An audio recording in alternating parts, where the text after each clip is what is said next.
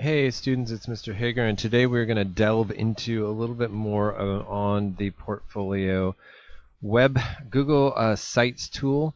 So, so far we have built um, pages for each grade and as you can see let's talk about the idea of nested pages. So nested pages, think of kind of, you know those those little dolls that are kind of one inside the other that kind of you take them apart and then there's another doll inside and then you take that one apart and it's another one inside.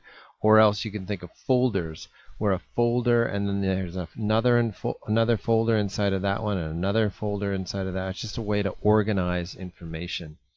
And um, websites are the same way. So we have four different pages at the top level. We call this the top level that we can go in. And we also see that underneath sixth grade we have two nested pages within sixth grade area. So we have an English page and we have a social studies page. And right now we are in the English page. Um, so today we're going to talk a little bit about uh, more in depth about how to add a Google Doc to our uh, to our page. So we're going to add a Google Doc to our page and First thing that you probably need to do is to insert a text box and tell what this Google Doc is and, and what assignment it came from and what was the goals of the assignment, etc.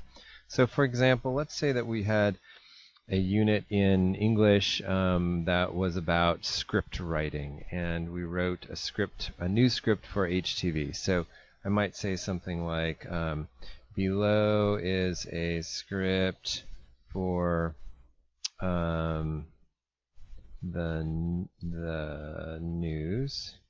I wrote blah blah blah. I wrote it uh, as if I was going to perform a HTV newscast um, as an anchor, something like that. So you would write a little blurb on here, um, and that would show up.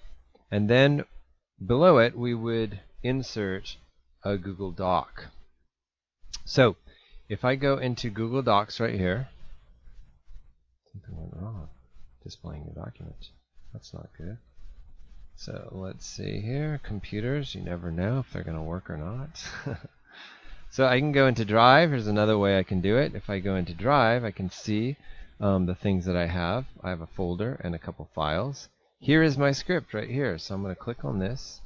And it inserted it into my um, into my page.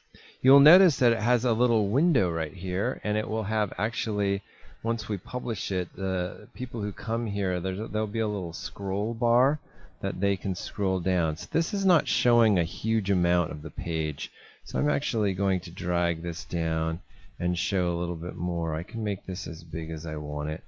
Um, no, no, no, no, no. Drag this down. Well, okay. That's fine. All right.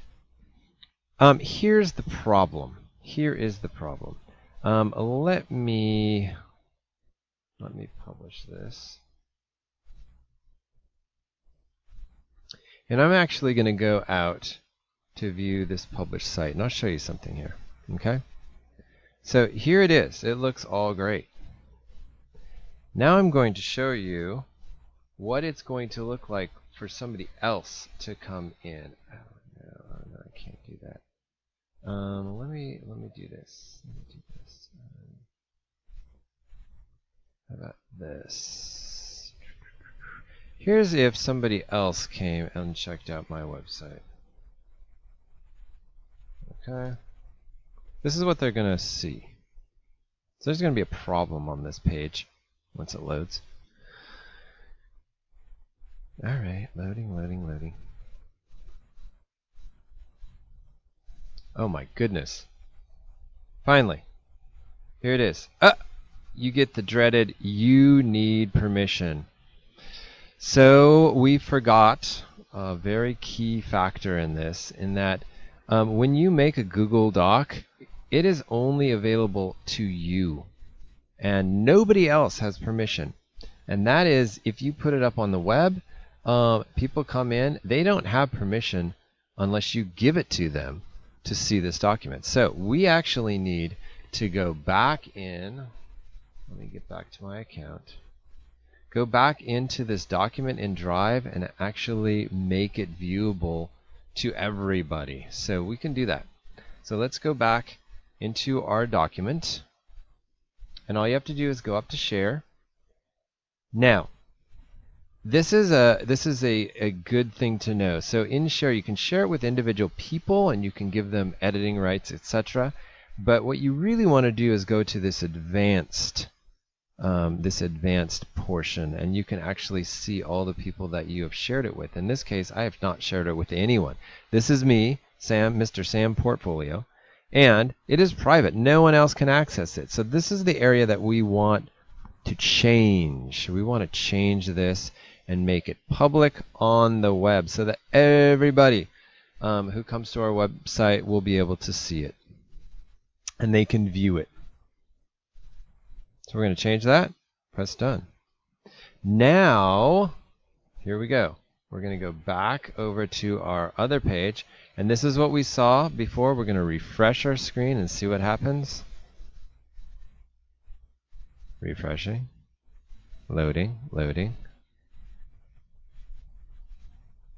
And there it is. Now they, everybody has um, access to to see that. So that's a really, really, really, really important thing. Um, and I see this viewing students work all the time is when I go and look at their pages, they have documents that are uploaded to their page, but I get that dreaded.